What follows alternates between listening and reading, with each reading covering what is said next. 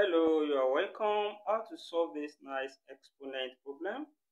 We have 9 raised to power x plus 9 raised to power x plus 9 raised to power x equals to 675.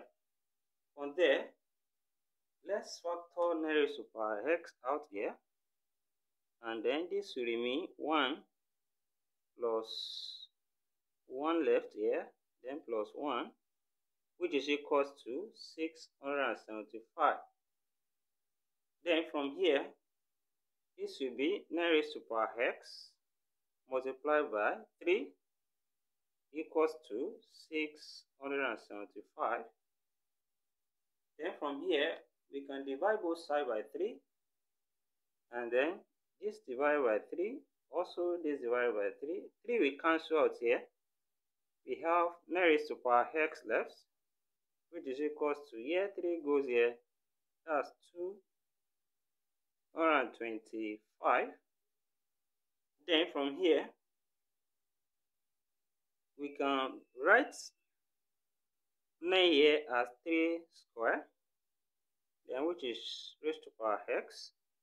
Now equals to 225 here. Then here we can separate this and this will be 3 raised to power x then raised to power 2 from the law of indices. Then from here this is equals to 225.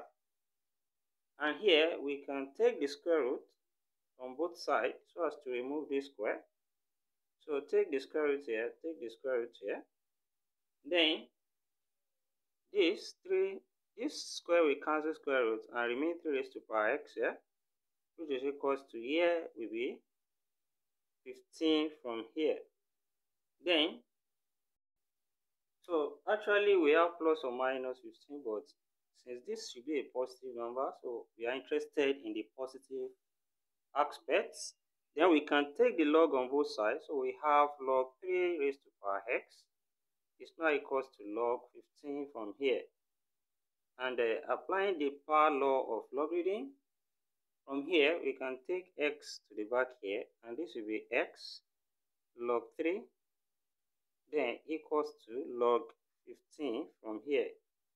The next step we can divide both sides by log 15 I mean log 3 divide both sides by log 3 so as to remove log 3 here. So this cancel out and we are left with x which is then equals to log 15 here can be written as log 3 times 5 as 3 times 5 same thing as 15 then over log 3 and from the law of logarithm when we have log a times b we can separate this and this will be log a plus log b. Then from here x now equals to log 3 plus log 5 then all over log 3 then we can separate this into two fractions and this will be x equals to log 3 over log 3 then plus log 5 over log 3 and here log 3 over log 3 cancel out that is 1 so then we have x now to be equals to 1 plus here we can use change of base and this now written as log 5 and base 3 so from here we have the value of x in this uh, problem. Thank you for watching. Don't forget these steps. Subscribe for more exciting videos turn on the notification bell, share this video, give a thumbs up, and put your comment in the comment section. See you in the next class and bye for now.